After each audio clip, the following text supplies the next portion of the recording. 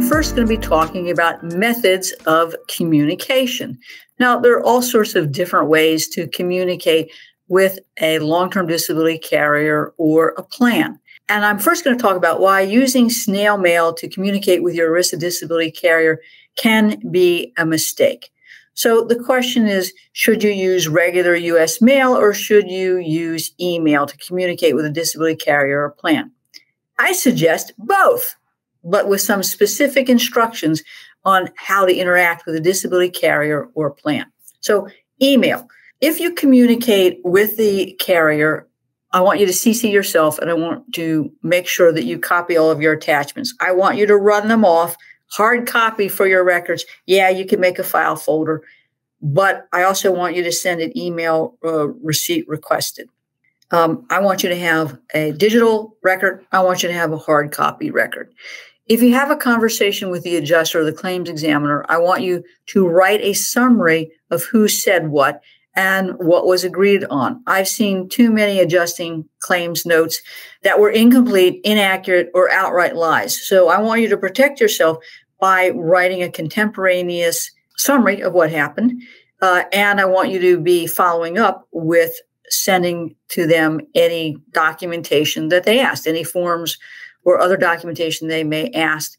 And you want to ask that they confirm the receipt of those documents and ask them, do you need any additional information? Keep a hard copy of that. If they say they didn't get it, then it's time for you to use certified mail return receipt requested. I know that it's expensive, but it's there for your protection. Now, certified mail return receipt requested is something that I do use. And of course, I keep a hard copy of what I sent certified mail. And that's particularly true if I'm sending in information or records. I do a cover letter, as you should, saying, here is what I'm sending you one, two, three, four. And at the bottom, I'm showing the list. And I'm obviously making a hard copy of the letter and the attachments. Now, the certified mail return receipt requested technique, I think, limits the disability carrier's plan or, or, or plan's excuse. Well, we didn't get it or it got lost in the mail. I think that that one way to fix that is that certified mail return receipt requested. And if they say they didn't get it, I send it a second time.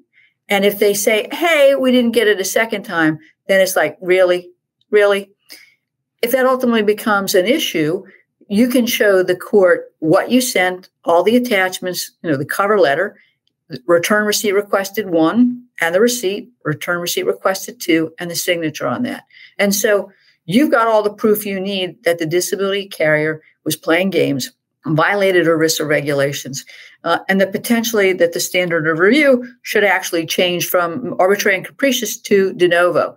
In other words, violation of the ERISA rules or regulations can change the standard of review, and that can help you. So I think that's a really great way to protect yourself. Otherwise, they're going to play the we didn't get it snail mail, email, delay or deny game. And that's a game that you are going to lose unless you've got uh, proof. So they're hoping that if they play that game, by the way, that you'll just go away.